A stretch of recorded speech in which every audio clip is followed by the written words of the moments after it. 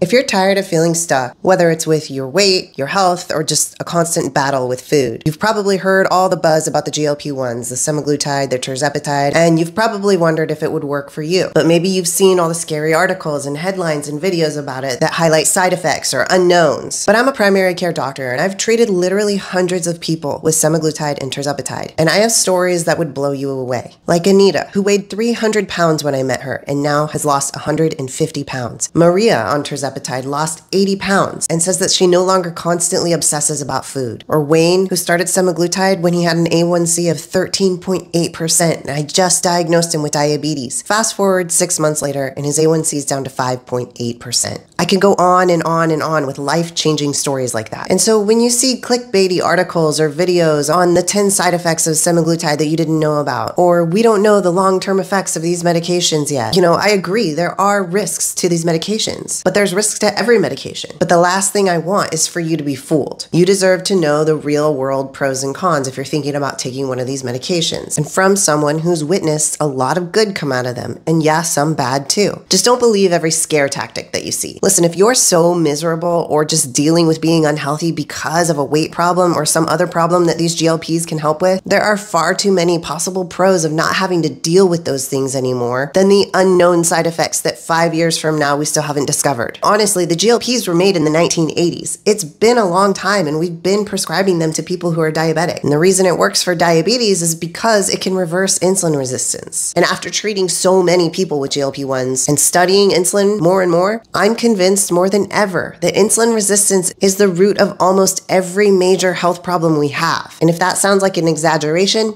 it's not. Give me 10 seconds to explain why. Insulin is a critical signaling hormone that is supposed to tell the liver to stop making extra blood sugar when we've eaten. And if you chronically overeat or have any chronic inflammatory disease or issue, insulin doesn't work right. The signal stops working and your blood sugar stays elevated when it's not supposed to. Yet your brain and your body feel like it's not, and you're stuck in this cycle of maybe not even eating that much, but you're still unable to lose weight. Sound familiar? And this just sets off a domino effect in the body. Inflammation and being overweight can lead to all kinds of health consequences. I don't even have to list them out for you. And please don't mistake me for fat shaming. I have no intention of telling you that you're not a beautiful person if you're overweight. That's not the purpose of this talk. It's just that when I see someone struggling with weight or fatigue or diabetes or pre-diabetes or even hormone issues, it's not just about the scale. It's about stopping the chain of problems that eventually lead to disease. That's my job. So if you need to reverse any of those problems, symptoms, obesity or being overweight included, let's do the thing that I've seen work better than any other weight loss drug or program out there, period. You just need to have a conversation with your doctor and it needs to be personal and personalized because every one of you is different. I can't stress that enough. All right, let's get practical and wrap this up with who should and should not be taking the GLP 1s. Who are the GLP 1s for? GLP 1s are for you if you have meaningful weight to lose, you have health risks like pre diabetes, diabetes,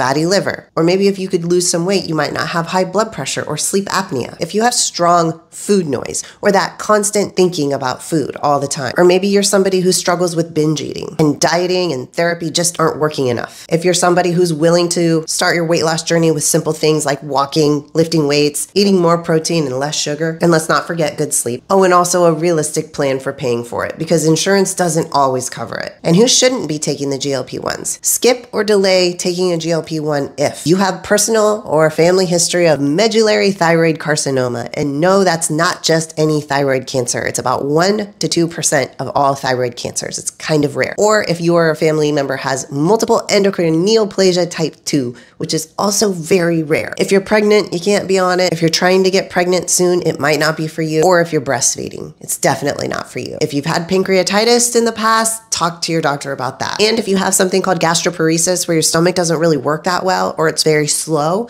or if you're somebody who struggles with nausea, constipation, or reflux, those are the most common side effects of the GLP 1s. So you're gonna wanna think about that before diving in. And heads up, if you use medication for diabetes already, if you start a GLP 1, you're basically adding on another medication and your blood sugar will lower. If you're a woman and you decide to start taking tirzepatide, but you use birth control pills, you're gonna want a backup method of contraception for one week if you start it and anytime you increase the dose. And that's because tirzepatide slows the gut down so much that absorption of your birth control pills can be lowered. And also, if you have gallstones or kidney issues, you're want to talk it out with your doctor if you can start the GLP 1s. And that's it.